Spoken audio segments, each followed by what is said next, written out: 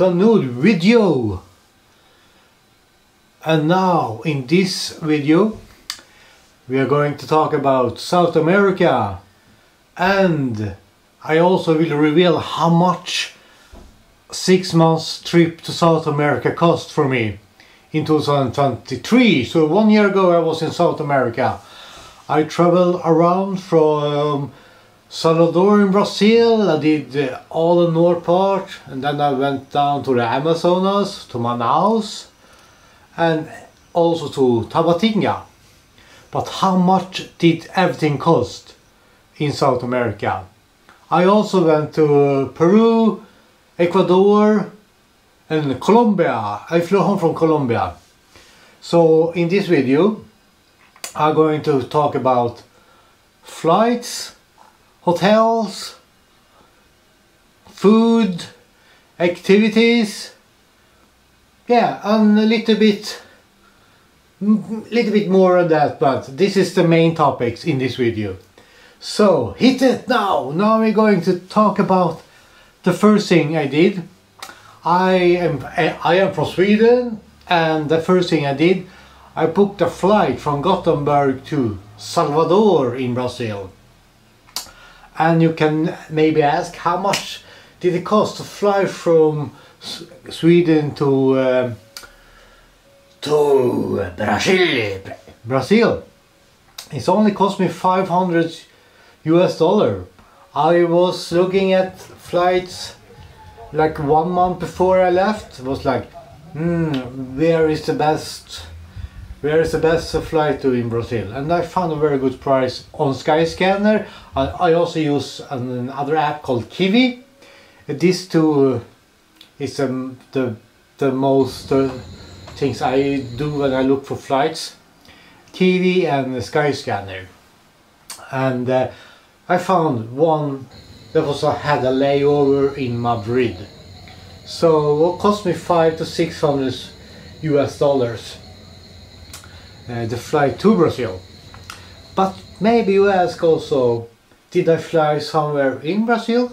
Yeah, I took I took two flights in Brazil actually. I took one from uh, Salvador to Recife, and that that flight cost me around uh, it was 150 US dollars, and then I also took another flight uh, from Manaus to Tabatinga and that flight cost me around I think that was also around 160 US dollars. So yeah uh, I think the flight in Brazil is quite expensive uh, or not. It's, it's depending what you're comparing with. But was a I think was yeah it's just, uh, I have looked in the prices now and this is around 200 US dollars uh, but the next thing is, of course, the other transportation in uh, South America. I took a lot of buses in uh, Brazil, a lot of buses in Peru, in Ecuador and Colombia. But uh, the buses, yeah, the price is not that expensive if you compare to Europe or US. Uh, but still, it's one of the big thing you if you're on a budget of course the transportation is a is a is a is a one big expense that you have to pay out on your on your from from your budget of course. So uh, for example in in Ecuador that the for like one one or two or three hours bus ride costs five to ten dollars I think the same was in Peru and yeah also the same price in Colombia. It's like for one hour bus ride maybe two or three US dollars and for longer bus ride you can expect pay maybe 20 US dollars. And the night buses can be everything from like 20 US dollars to 50 or 60 or 60 US dollars for example in Peru they have uh, so many bus companies so if you choose the, the budget option uh, then you can um, get, get around cheaper than if you pay a little bit more for like a more luxury bus. So the transportation is one huge thing uh, to consider. And another thing I did in transportation way, I take I took um, cargo ship through the Amazonas for a week. First I went from Belém to Santarém and then I stayed in something called Alter do Chão for a week and then I went back to this cargo ship from Santarém to Manaus and all together it was like eight, seven, eight days and that cost me I, I had to buy a hammock as well so I slept in like an open space area with a lot of hammocks a lot of locals. So it was a cool experience. Uh, but that, that cost me around uh, I think the first cost me 40 US dollars and the second one from Manaus uh, from Santarém to Manaus was 30 US dollars.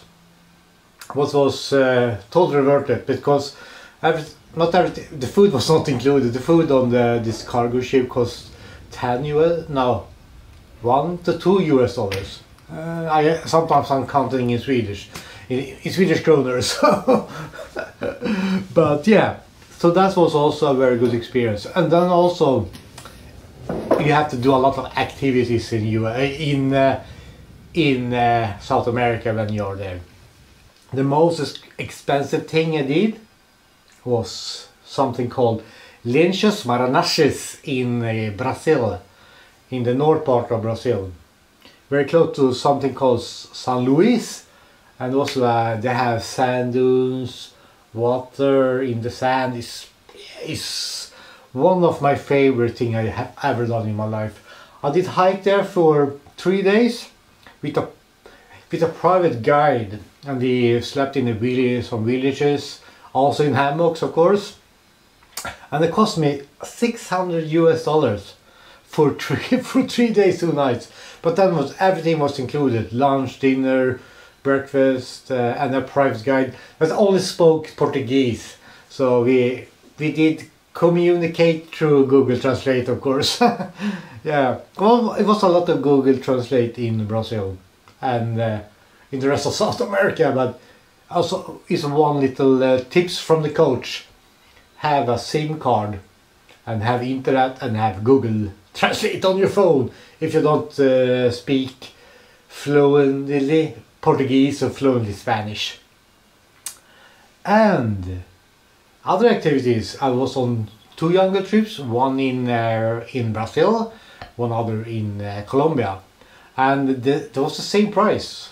Because I was in, in, in the Brazilian one was for three nights, two days. No, two days, no, two nights, three days. and it cost me around two, no, yeah, around, that was, I think it was 200 US dollars, yeah. Around two, a uh, little bit less than 200 US dollars. And then everything was included. Uh, you your food, your transportation from an house out in the jungle. And uh, the same concept was in uh, Colombia, in Leticia.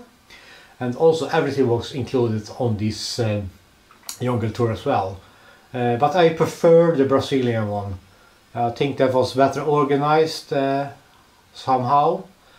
Yeah, so Manaus was for me a better place to do the jungle experience than in uh, in Leticia.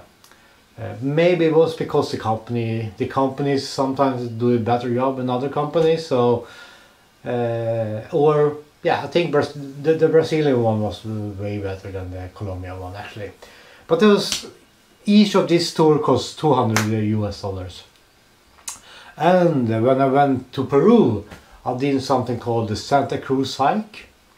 You hike up in the in the Santa Cruz area in Huaraz, outside Huaraz, and um, I took a guided tour there and uh, it cost me also 200 US dollars. Everything, uh, multiple, multiple days tours in South America seems that it costs 200 US dollars almost everywhere.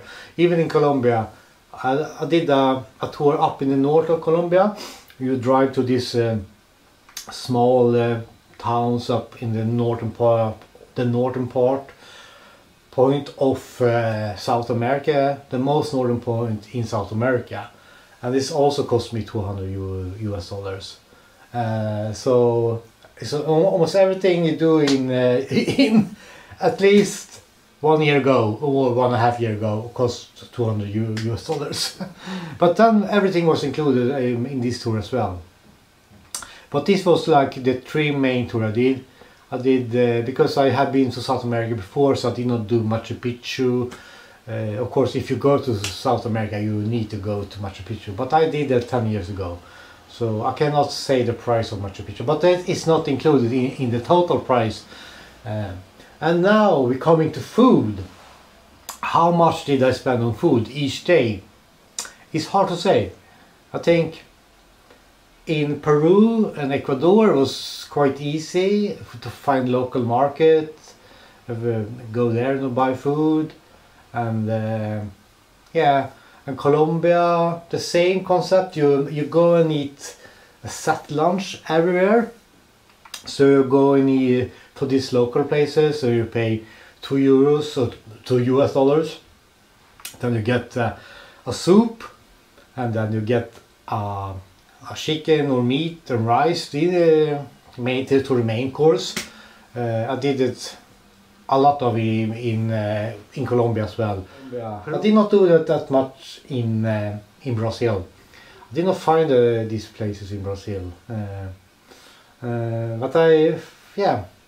So that is my also how, how to lower your your daily costs to go to local market and eat set lunch. Otherwise in Brazil it's a good advice to cook your meal because you see that you think that Brazil is quite affordable place, but this still is it's not that cheap in Brazil actually. It's more expensive than you think. Uh, but still, if you're if you have the US dollars, it will be uh, more affordable than US or Sweden or Norway and yeah, you name it. The most expensive countries is Brazil is still uh, still affordable at at this moment. Um, yeah. So food maybe two three doll two three dollars per per meal per yeah. And you eat sometimes you eat breakfast lunch and dinner. So it adds up. Sometimes you maybe one day you maybe eat for six six to ten US dollars and some days you eat for twenty dollars. It's depending uh, on your mood. Sometimes you're really craving a pizza. In Ecuador I ate very some good pizzas uh, and also in Colombia.